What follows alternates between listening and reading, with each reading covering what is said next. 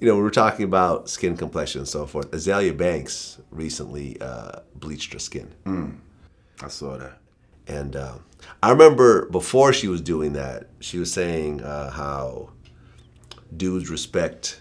She was calling it the, brown paper bag test. She said dudes respect the brown paper bag, meaning that your skin tone has to be a brown paper bag color or, or lighter.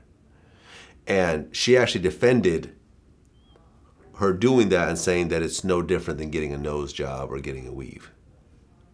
And I, I yeah, it is no different. I think it's all bad. I think it's all bad. It's all a sign of self hatred. It's all a sign of not being happy with who you truly are. so you don't believe in weaves? You don't see me wearing one. Your wife? Yeah, but that's her belief. That's not mine. Okay. You see what I'm saying? You never never said, "Hey, I don't like your weave. I don't think I think you should wear your hair natural." Listen, I'm not. I'm not the type that's gonna oppress you. You know what I mean? You're gonna do what you want. Like, like I'm a, I'm a, I'm, I'm a five percenter. My, my wife is a Christian. Yeah. You see, there's some people that be, oh, how the fuck could you be with it? You know what I mean? You God and that. Uh, listen, you do you. Like, like I don't. You don't have to believe everything I believe for me to fuck with you. Yeah. You know what I mean? But I'm gonna let you know what it is I believe. Definitely. Okay. You're gonna hear that loud and clear. You know what I mean? I'm gonna tell you the science on weaves and all that type of shit. And if you still choose to wear it, so be it. So so you think wearing a wig or sewing Now there be weave jokes in my house. You best believe, like you best believe I be having. Believe. you best believe I be having some weave jokes. are they unbelievable? They be unbelievable sometimes. Yes, they do. Yes, they do. Um, But but you really feel that wearing a wig or having a hair extension is the equivalent of actually bleaching your skin? You think that's the same thing? it all speaks to dissatisfaction. Yeah. It all speaks to there's just diff, different levels of it. Yeah. You see, there's there's you know, you have slapping somebody and then you have murder. It's all violence. Yeah. You see, but there's different degrees. It gets worse and worse as you go on. Um, so now when you're like doing, you know, a wig, lipstick, okay, that's like a slap. You understand what I'm saying? But now when you're cutting your body open to shove tits and asses in it, and now you're fucking, you know, using some shit to, to lighten your, you know, to me that's that's like murder. You're murdering yourself almost. You understand what I'm saying? Like that's extreme violence. That's extreme dissatisfaction. Yeah, I mean, it's interesting how skin bleaching is considered bad, but like breast implants and ass implants and you know all that type of shit is not considered. That's it's more acceptable. You know, when you I mean, think yes about and no. Like I know, I know some dudes that don't like that shit at all. Like, don't- I don't- I like, don't like it at all. Them fake asses and shit. I Like, don't, I don't like it at all. niggas be in the in the strip club talking about real ass alert. Like you know when they see a real That's me ass, right there. like, I'm doing real that. ass alert. Like I'm doing that. Yeah, for real. Because, whoop, whoop, yeah, whoop, whoop, whoop. because every girl got a waist this thin and a fucking ass out to here. Like, come on. Like, and it's also like what what bothers me is like, because I've always liked thicker women, right? A thicker a, a thick girl is not supposed to have this tiny little stomach. Just doesn't look right. You're supposed to have a little bit of a stomach. I like that. I like having a little bit of stomach. I mean, I don't like a huge gut that hangs Right. over your, your knees, but I mean, like a little love love handle. some love handles, a stomach. It goes along with the body. When you see these chicks with these huge asses and these thighs, and then this tiny little washboard. You know, not even a washboard stomach because there's no muscles there. It's like just a, it's like a flat, weird looking stomach. It's like I don't like that. That looks weird. I know you think that's what we want, but I don't. it like looks that. deformed. looks deformed. Okay, and it's Yeah. like, so you went from hating yourself, but see, it's all how you see it in your mind. Cause now, to me, that don't look good. Maybe Yeah. you see, but in your mind, you were not happy with who you were before, and this is what you was going for. Yeah. Whereas I pro- I might have been more happy with you prior to that, and now maybe I'm not so happy with Yeah. how you look. You know what I mean? But at the same time, that's that's no hatred towards you or anything like that. Like you do you. Everybody has to make their own choices and all of that. Yeah. You know, I'm just trying to say where did these choices come from? You know, what what what influenced you to feel that way? You know what I mean? Why don't you look at that first before we jump out a window, spending all this money and, you know, altering ourselves to beyond recognition. Yeah. You know, why don't we just look at why why are we unhappy with ourselves? Real talk. So, we had an interview uh, with Boosie where he said that They're trying to make all everybody fucking gay. That's what I think. They're they're they're they're putting it on our culture. They're putting it on. They're putting it everywhere. Gay gay stuff is everywhere. You know. And I think they're they're just trying to do it to make a monetary gain. You know, they're not doing it for the gays. They're not really fans of the gays. They're doing it for monetary gain, man. They're trying to make money off these people, man. You know, you got cartoons that are they have gays on cartoons. Like these are kids. Let kids make their own decision if they want to go that way. Like I totally understand what Boosie what Boosie was saying.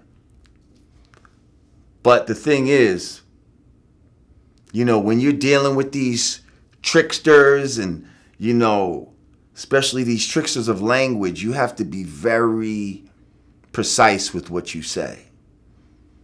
You know, I believe that Boosie, I believe his intention of what he wanted to say was that TV is influencing kids, is trying to influence kids to be gay.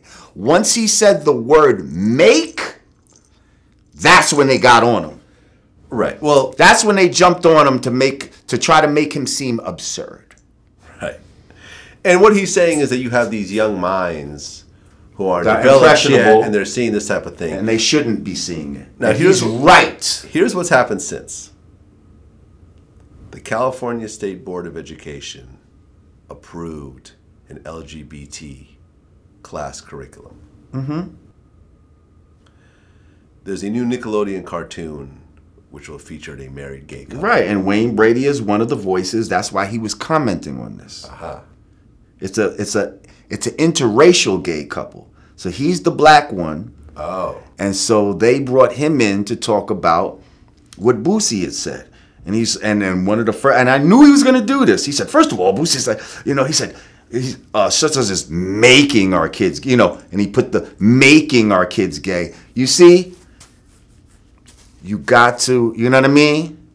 You got to be careful with what you say, how you say it, pick your words correctly. When you see me talking on here a lot of times, you'll see me go, uh, my eyes will roll up in my head for a second sometime because I'm thinking. I'm not just blurting shit out. Not to say that he was blurting shit out, but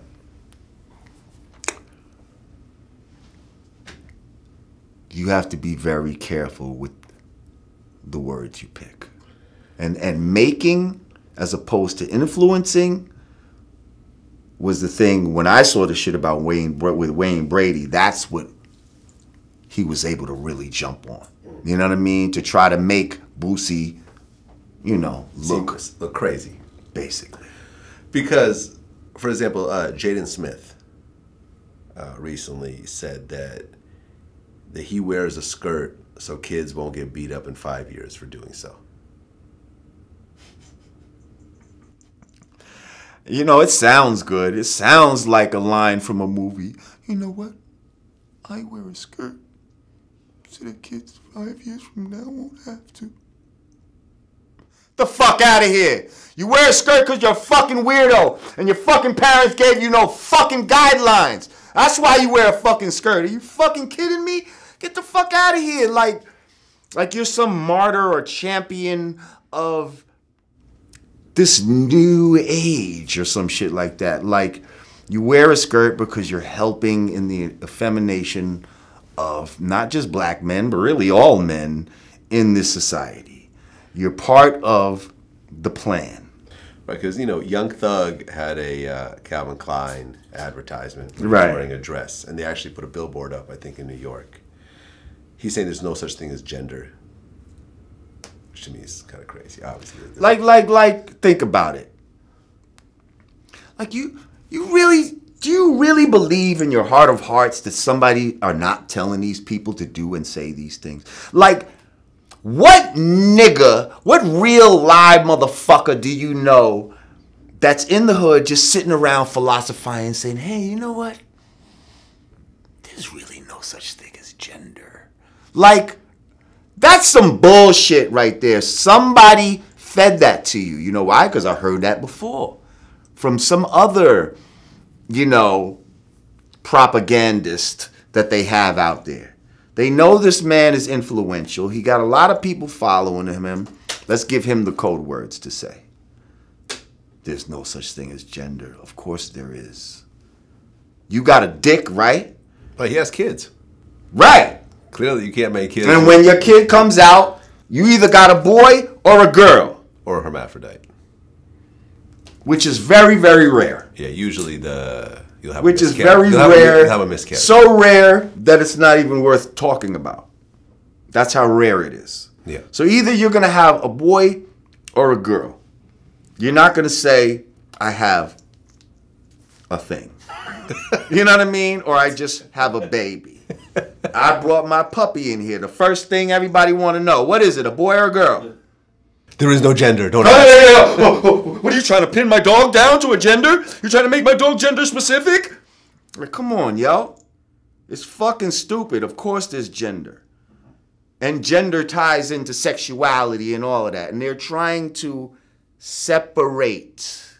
See, it's all about separation. The more you divide, the more you can conquer. So let me separate gender from sexuality, from man, from woman, from you know what I mean? Yeah. All of these separations. So now I got y'all motherfuckers isolated, and it's better for me attack that way. Hmm. How do they question people in the police? If we, me and you was Cody's, they're gonna put us in separate, Separate rooms. rooms. Yeah, yeah. I've I've gone through that before. But what do you think about the whole situation? Man, my point of view, man, I really feel like they tried to paint a, a bad picture on my brother and try to make him look like like he was a hater. Uh, it was some envy, jealousy type shit. You know what I'm saying? And actuality, you know what I'm saying? Bro, been having this shit, man. He been in the condo. I got my hat on and I had my Coke bottles up under my hat. And I'm sitting at the dinner table like an asshole with the hat on, knowing she gonna tell me to take it off. And I'm just sitting there just gawping down, you know, in my zone. She said, take that goddamn hat off at the dinner table. I'm like, come on, mom. Coat everywhere.